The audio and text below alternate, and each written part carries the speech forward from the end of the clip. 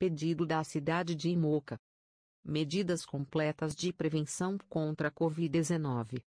Não fale sem máscara. Não coma em grupos grandes.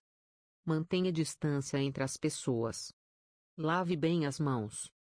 Se tiver febre, ligue ao médico. Ou para o centro de consulta. 0570 a 052092.